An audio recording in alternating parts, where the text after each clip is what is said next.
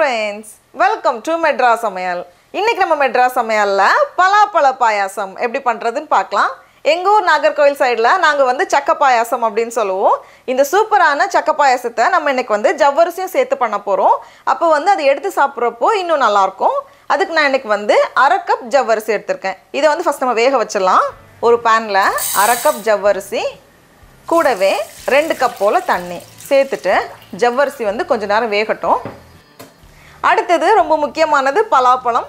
நான் இன்றைக்கி வந்து சீட் எடுத்ததுக்கு அப்புறமா அரை கிலோ போல் எடுத்து வச்சுருக்கேன். இது வந்து இருபத்தஞ்சி பீஸ் போல் வந்துச்சு. பார்க்கவே நல்ல ஃப்ரெஷ்ஷாக இது வந்து நல்ல இனிப்பாக இருக்குது இதை வந்து கொஞ்சம் சின்ன சின்ன பீஸாக நம்ம கட் பண்ணிடலாம். அப்போ தான் பாயசத்துக்கு நல்லாயிருக்கும்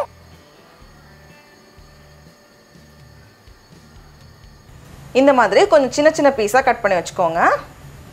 இப்போது ஜவ்வரிசி வந்து ஓரளவுக்கு வந்திருக்கு. கொஞ்சம் சாஃப்டாக இருக்கு. இப்போ இந்த ஸ்டேஜில் நம்ம வச்சுருக்க பலாப்பழத்தை உள்ளே சேர்த்துடலாம். எக்ஸ்ட்ரா தண்ணி ஒருவேளை தேவைப்பட்டதுன்னா சேர்த்துக்கோங்க. சேர்த்துட்டு மூடி வச்சுட்டு இன்னும் ஒரு ஏழுலேருந்து பத்து நிமிஷம் போல் வேகட்டும். அது வந்து கொஞ்சம் சாஃப்டாக வரணும். அடுத்தது இனிப்புக்காக நான் இன்றைக்கி வந்து இரநூறு கிராம் வெல்லம் எடுத்திருக்கேன். இதை வந்து ஃபஸ்ட்டு ஒரு பேனில் மாற்றிக்கோங்க கூடவே ஒரு கப் தண்ணி சேர்த்துட்டு பதும் எதுவுமே தேவையில்ல. வெல்லம் வந்து கரைஞ்சாலே போதும். இப்போது வெல்லம் இந்த மாதிரி கரைஞ்சதும் நம்ம இதை வந்து வடிகட்டி வச்சிடலாம். அப்போ ஏதாச்சும் தூசி அழுக்கு இருந்துச்சுன்னா வந்துடும்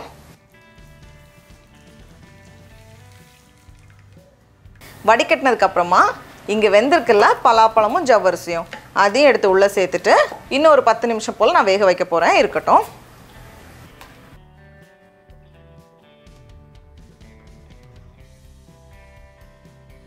எனக்கு இந்த மாதிரி கொஞ்சம் பீஸ் பீஸாக பாயாசத்தில் இருந்துச்சுன்னா எடுத்து சாப்பிட்றதுக்கு ரொம்ப பிடிக்கும். அதனால் நான் வந்து இப்படி போட்டிருக்கேன்.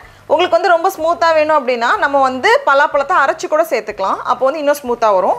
ஆனால் இந்த மாதிரி பண்ணாலும் நம்ம வந்து பாயசம் சாப்பிட்றப்போ அப்படியே பலாப்பழ பாயசம் சாப்பிட்ற ஒரு ஃபீல் இருக்கும். அதுக்காக தான் நம்ம இப்படி சேர்த்துக்கிறோம்.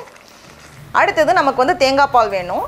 அதுக்கு வந்து ரெண்டு கப் துருவுன தேங்காவை ஒரு மிக்ஸி ஜாரில் மாற்றிருக்கேன் கூடவே ரொம்ப கொஞ்சமாக தண்ணி சேர்த்துட்டு வாசனைக்காக அஞ்சு ஏலக்காய் சேர்த்து ஃபஸ்ட்டு அரைச்சி ஒரு கப் போல் நல்ல கெட்டியான தேங்காய் பால். இது வந்து ஃபஸ்ட்டு பால் அப்படின்னு சொல்லுவாங்க. நல்ல கெட்டியான தேங்காய் பால். மீதி இருக்கிறதையும் உள்ளே சேர்த்துட்டு இன்னும் கொஞ்சம் தண்ணி சேர்த்து அரைச்சி எடுக்கிறது வந்து ரெண்டாம் பால். இதில் வந்து நமக்கு ஒரு கப் வேணும் அதில் வந்து ஒரு கப் வேணும். இப்போ இந்த மாதிரி ஓரளவுக்கு நல்லா வெந்து ரெடி ஆனதுக்கப்புறமா நம்ம எடுத்து வச்சுருக்க ரெண்டாம் தேங்காய் பால் ஒரு கப்.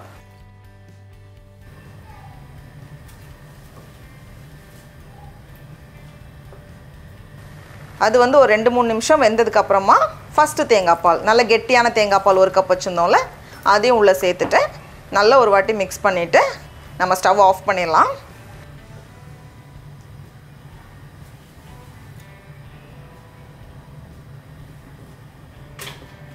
இப்போ இது மேலே சேர்க்கறதுக்காக ஒரு டேபிள் ஸ்பூன் நெய். நெய் உருக்குனதும் கொஞ்சம் முந்திரி பருப்பு. முந்திரி பருப்பு ரோஸ்ட் ஆனதும் இதில் வந்து கொஞ்சம் உலர்ந்த திராட்சை கூடவே கொஞ்சம் தேங்காய் துண்டுகள்.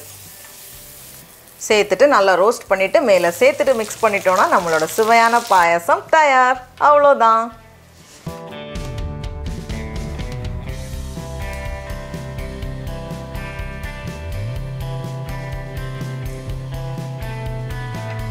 டடா! நம்மளோட சுவையான பலாப்பழ பாயாசம் ரொம்ப ரொம்ப சூப்பராக அழகாக தயாராகிடுச்சு பார்க்கவே அவ்வளோ அழகாக இருக்குது இப்போ நம்ம டேஸ்ட் பண்ணி பார்க்கலாம்.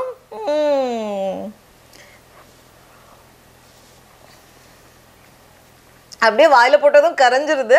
நீங்களும் கண்டிப்பாக இந்த ரெசிபியை வீட்டில் செஞ்சு பாருங்கள் உங்களுக்கு இந்த வீடியோ பிடிச்சிருந்துச்சுன்னா மெட்ரா சமையலுக்கு சப்ஸ்கிரைப் பண்ணுங்கள் நாவின் சுவையரம்புகள் மலரட்டும்